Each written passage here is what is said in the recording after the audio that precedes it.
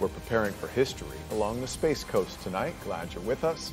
I'm Matt Austin. And I'm Lisa Bell. You're watching News 6 at 5:30. After a failed attempt a month ago, another company is gearing up to try sending its private uncrewed spacecraft to scout out unexplored parts of the moon in just under seven and a half hours. Yeah, if the mission's a success, this will be the first time an American spacecraft lands on the moon since that 1972 Apollo 17 mission. As News 6's James Sparvero explains, there's a lot of optimism heading into this launch overnight. Here at Kennedy Space Center, NASA just told us in a new teleconference the launch continues to be on schedule for 12:57 in the morning.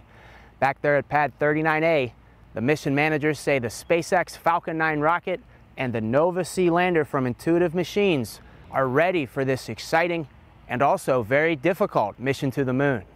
All six NASA science and technology payloads on Intuitive Machines Mission 1 are go for launch.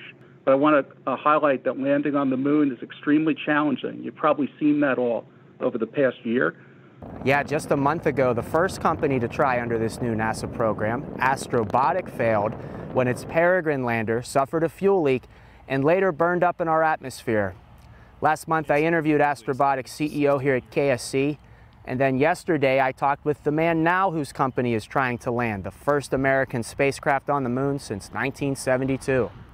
Intuitive Machines CEO Steve Altemus told me how NASA says the science on his lander can help pave the way for astronauts to explore the moon again. One of those innovations includes this visually appealing idea from students at Steve's alma mater, Embry-Riddle. It's the Eagle Cam payload, and it's the one that the students at Embry-Riddle Aeronautical University have produced uh, that ejects a camera. But as we're approaching the surface of the moon, and as we land, the camera falls to the surface and takes a picture of our landing. And so we will get the first selfie or bird's eye view of landing on a celestial body. That picture has never been taken, and we're looking forward to that awesome photo. And that historic photo op should happen on the 22nd when NASA says the lander should touch down. Again, the launch overnight is at 1257. If you're up, you can watch live on clickorlando.com. At NASA's Kennedy Space Center, I'm James Sparvero, getting results News 6.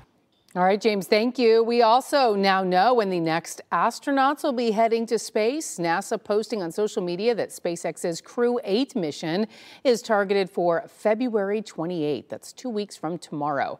The astronauts will blast off from Kennedy Space Center to work on board the International Space Station just before 1 a.m. in the morning. James and News 6 anchor Erik von Ancken will bring you the latest of all things from the Space Coast every morning with their Space Coast and Beyond newsletter. You can subscribe right now on clickorlando.com slash newsletters.